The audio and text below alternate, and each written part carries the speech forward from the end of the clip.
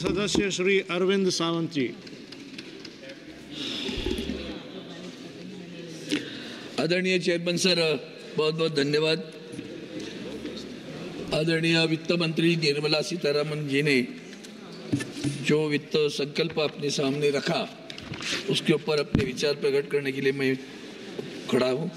और खास करके उन्होंने जो चार बातें कही थी, युवा, महिला किसान इन विषय को लेकर मैंने सोचा कि पहली बात जब आपने उन्होंने बेरोजगारों की बात की, कुछ नई स्कीम लाई है तो उसके ऊपर पहली बात ऐसे कि उसकी उसकी जो नींव है, वो पहले समझनी चाहिए।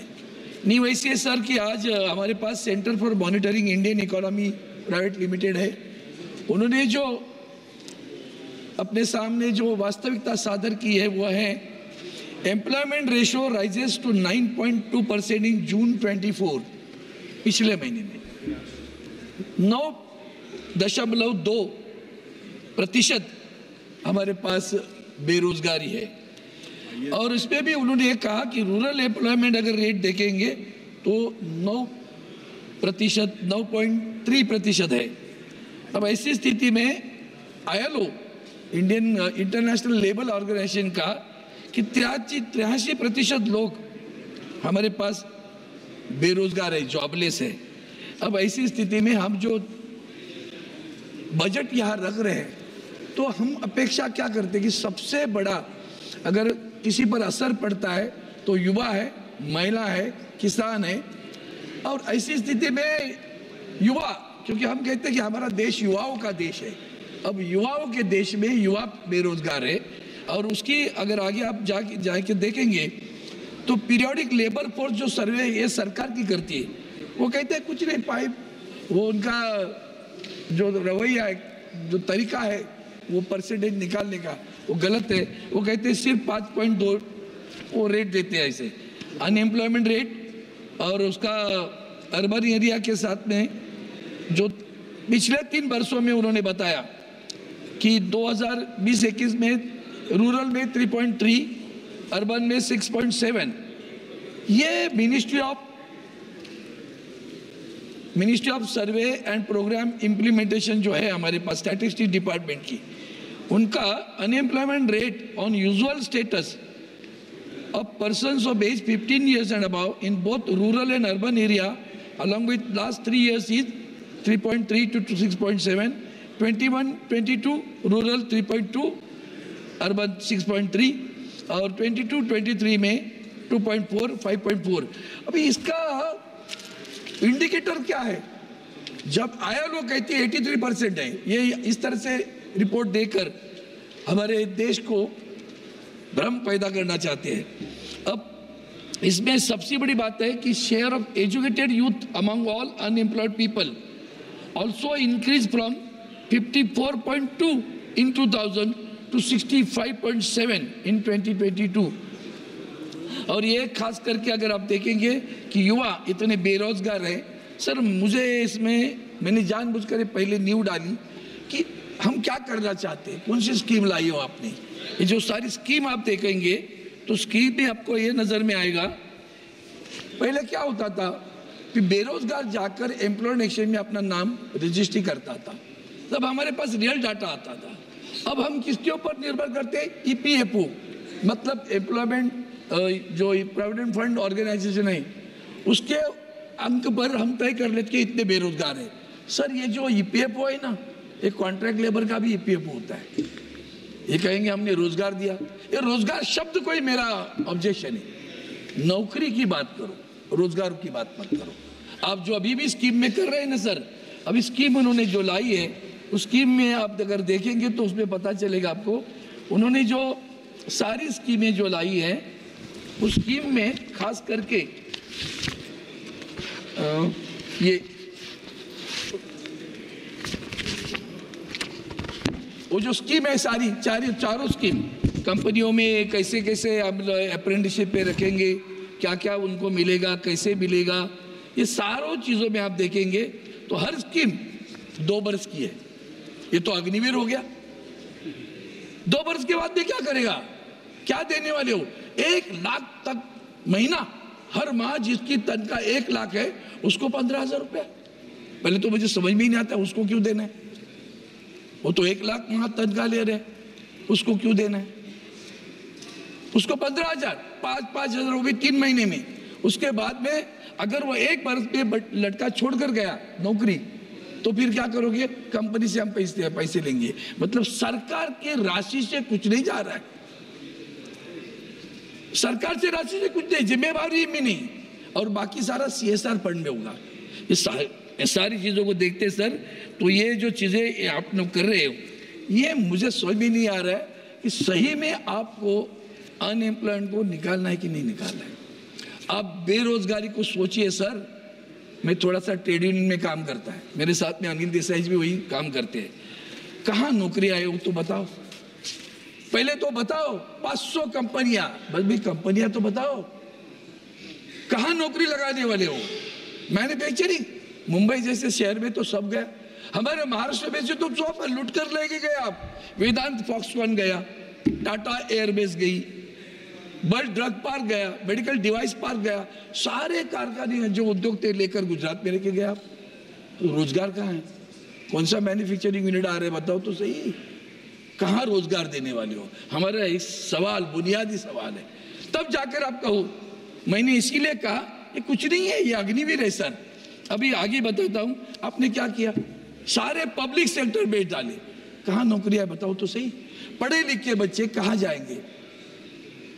ये जो दसवीं, बारहवीं कक्षा के जो रिपोर्ट है मेरे पास, उस रिपोर्ट में आप देखेंगे कि जो कम पढ़े हुए बच्चे हैं, उनकी संख्या बारहवीं या दसवीं कक्षा पास करने वाले लोगों की संख्या ज़्यादा है और ग्रेजुएट वालों की संख्या। वो कहाँ नौकरी करेंगे बताओ? बैंकों में लेने वाले। आप किसी भी बैंक के ब्रांच में जाकर देखो, अंधेरा छा हुआ है। अभी ए आई आएगा तो और भी तकलीफ़ आएगी। आर्टिफिशियल इंटेलिजेंस तब क्या करोगे? देश की आबादी का सोचो 140 करोड़ में कितने लोग बेरोजगार हैं। आप देते हो सीधा चार करोड़ लोगों को जॉब मिलेगा, दो वर्ष के बाद में क्या करेगा? अग्निवीर बनेगा क्या? नहीं पता चल रहा है, सर। और इसलिए मैं कहता हूँ, bank insurance rail post oil सारी कंपनी आपने बर्बाद कर दी। हाल ही में मैं जर्नी कर रहा था तो रेल में दो कर्मचारी मिले मुझे। और उन्होंने कहा, सर, मैं बोला, क्या करते हो? तो बोला, मैं जनरेटर ऑपरेटर हूँ। एक ने कहा, मैं हाउस कीपिंग करता हूँ। तो उसने कहा, जब मैं नौकरी पे लगा तो उस वक्त मुझे पैंतालीस हज़ार तनख्वाह मिली। दो बरस के बाद में वेंडर चेंज हुआ। मेरी तनख्वाह सीधा सोलह हज़ार आ गई। फिर दो बरस के बाद में नया वेंडर आया, फिर अठारह हज़ार पे गया। अब नया वेंडर आ, अभी और नया वेंडर आया चौबीस हज़ार। हमने तो सब प्राइवेटाइजेशन हमारे, यहाँ पार्लियामेंट में बैठे हम। पार्लियामेंट का स्टाफ कहाँ है? कहाँ गए सब? सीआईएसएफ हमारी उनसे दुश्मनी नहीं है। क्यों हमारे स्टाफ को निकाला? समझने तो दो। बीवी जी करता है हमारा, सारा।